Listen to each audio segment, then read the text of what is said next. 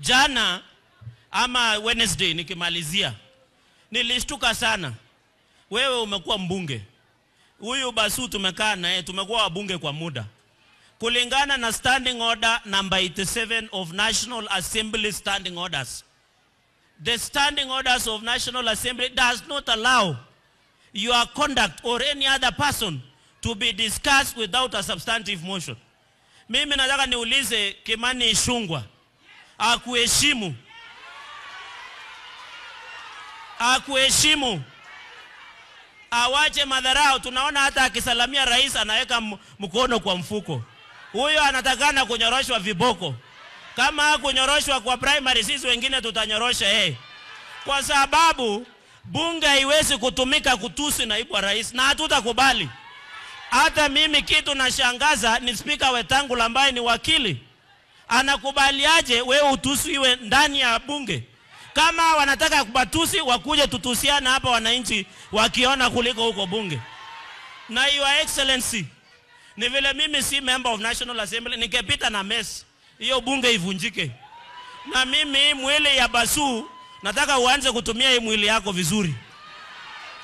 Wewe ungeenda na mess bwana, hapana, wacha siku ingine. Na mimi your excellency the deputy president, huyu Kimani Ichung'wah ambaye wewe na rais nilikuwa mkimpea majority leader, hana asante, yaani hana asante, anaanza kutusiana na nyinyi, ndio mulimpea kuwe majority leader. Kwani madharao nyinyi mme- mmetuma ya dharau naibu wa rais, mumemtuma. Hata your excellency anapeana list kwa spika kwa ile majina ya kukutusi. Wale wabunge wengi ambao wako nyuma yako na rais hawakupea nafasi kuongea. Mimi am putting notice kwa hawa, na mimi nataka nimwambie spika Wetangula aendeshe bunge on the cloth of neutrality. Hatutakubali naibu wa rais atusiwe ikiwa ndani ya bunge ama nje ya bunge, na pia si hawa wabunge vijana. Mimi ni kijana kama hawa lakini vile nililelewa naibu wa rais, nililelewa niheshimu wazazi na niheshimu watu wangu wakubwa, kwa sababu kuna msemo inasema ule mzee ameketi chini ya kiti anaona mbali kuliko ule kijana ako juu ya miti. Nataka niulize hawa vijana wenzangu, tukome. Na mimi, Your Excellency the Deputy President, unajua mimi ni villager, labda mimi nililelewa kivingine kwa sababu hata kama baba yako na mama yako wako na mambo yao na mambo yao inaendelea, wewe kama mtoto hauta- hautarajiwi kuingilia, utalaaniwa. Na mimi nataka niseme penye natoka, ukiona mtu akitusi mama yako, next hata tusi watoto, ataanza kutusi baba, na hatutakubali Kenya hii ifanyike, na hawa vijana wataingiza, na ndio naunga mkono 2027 waende wapi? Waende wapi? na kuna mawaziri kidogo hapo pia naona wanaongea vibaya, na unajua mimi najua kudeal nao kama Murkomen. Nimeona wengine wanaongea ongea na hakuna barabara hapa, na yeye ni nini barabara, naona anakutusi na hajaweka lami hapa. Kwani mulipea kazi ya kuja atusi naibu wa rais ama afanye lami?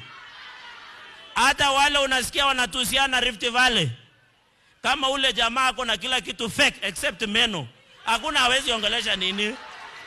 Kuna mawaziri kidogo hapo pia naona wanaongea vibaya, na unajua mimi najua kudeal nao kama Murkomen. Nimeona wengine wanaongea ongea na hakuna barabara hapa, na yeye ni nini barabara, naona anakutusi na hajaweka lami hapa. Kwani mulipea kazi ya kuja atusi naibu wa rais ama afanye lami? Hata wale unasikia wanatusiana Rift Valley, kama ule jamaa ako na kila kitu fake except meno, hakuna hawezi ongelesha nini. Wale vijana tunao wale hawana, ha, ha, hawana aibu vijana waki, unakuta mpaka bunge ndani ya bunge wanaleta matusi ya kutuzi naibu wa rais.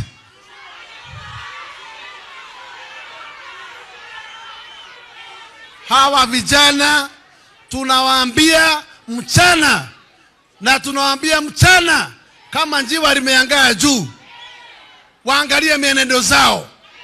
Otherwise hawa ni watu, tukielekea uchaguzi mwingine watafagiriwa na nyinyi villagers wakwenda nyumbani. vijana wajue, hata kama wamenona namna gani, hata kama mifuko imefura ni pesa, wakumbuke wakishimba wafunike tumbo. Mtu wa kuonesha naibu wa rais kindore, huyo ajue ni sisi anamurika, na mtu wa kutukana naibu wa rais anatukana Wakenya. Kiti ya naibu wa rais ni ya Wakenya. Watu wasiwache kuona kama hiyo kiti iko ati iko vacant, na kama wanajua matakao zao ndio zinafaa kukalia kiti, waende wakaulize ruhusa kwa mwananchi.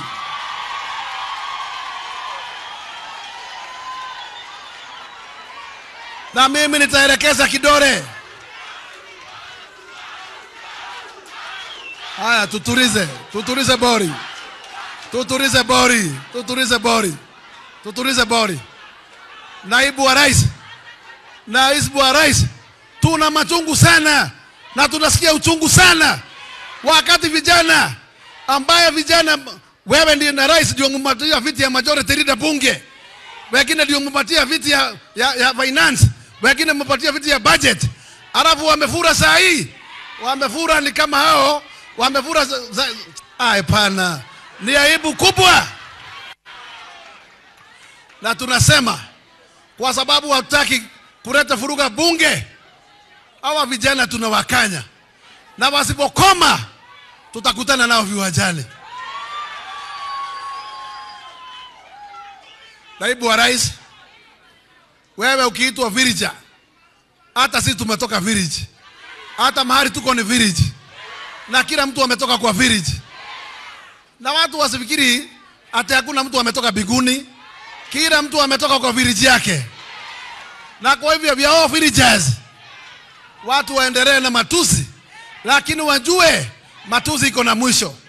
Mimi nawauliza wananchi wa Kenya, mpira ni kwenu. Mkiona wale wamekosa adabu, mupiga viboko 2027 wakwenda nyumbani.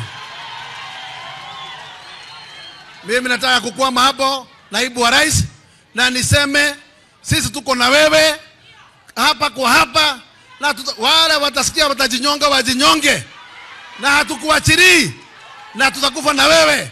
Watu wana na wa- watu walete watu wawe na heshima, otherwise heshima ikikosa na, na mwaria na mwauliza rais wa jamhuri kwamba hawa vijana ako na whip anyoroshe hawa vijana wawe na miendendo sawa, wawache madharau hiyo dogodogo. Otherwise bwana rais, ukinyamaza na unyamazie bomo yako, boma iendelee kuchomeka, kutakuwa na aibu ndani ya nyumba. Wewe na bwana rais, angalia, hapana ruhusu vijana wawe wakirushia naibu wako matope kila wakati na tu, Yes, na hiyo ndio barabara tunataka kwenda. Kama mnataka tufike mahali, tutafika hapo mbele kwa sababu ya heshima. Otherwise heshima ikikosa, mtaanza kuleta sisi kuwa na mafikira ingine, na sisi tunataka kukaa kwa nyumba, ndani ya nyumba, tuweke nyumba ikiwa sawa, na hatutaki mtu wa kuelekea kidole naibu wa rais tena, na kama hamkomi, hata sisi tuna secret weapon. Mimi sina sauti katika hii Kenya. Mimi ni mtu ya kusikiza ground. Mimi nasikiza ground. Ukisikia kitu ninasema ni ile ground inafanya nini? Ni ile ground inasema. Na mimi kama Rigathi Gachagua sina sauti yangu. Mimi naongea kwa niaba. Mimi naongeaka kwa niaba. Na ukisikia nimechukua msimamo fulani, iko watu wengi sana nyuma yangu wananiambia msimamo ni huo. Ningetaka kuuliza viongozi yote ya Kenya, tuwache kutukana wananchi, tuwache kukula tumeshiba, tunaanza kuwatapikia. Tuanze, tuwache tukikula kufungua tumbo. Wewe kama umekula vizuri ni sawa, wale bado kula waachie heshima yao hata kama hawana chochote ya kukula, heshima tu. Mimi sina sauti katika hii Kenya. Mimi ni mtu ya kusikiza ground. Mimi nasikiza ground. Ukisikia kitu ninasema ni ile ground inafanya nini? Ni ile ground inasema. Na mimi kama Rigathi Gachagua sina sauti yangu. Mimi naongea kwa niaba. Mimi naongeaka kwa niaba na ukisikia nimechukua msimamo fulani, iko watu wengi sana nyuma yangu wananiambia msimamo ni huo. Ningetaka kuuliza viongozi wote ya Kenya, tuwache kutukana wananchi, tuwache kukula tumeshiba, tunaanza kuwatapikia. Tuanze, tuwache tukikula kufungua tumbo. Wewe kama umekula vizuri ni sawa, wale bado kula waachie heshima yao, hata kama hawana chochote ya kukula, heshima tu.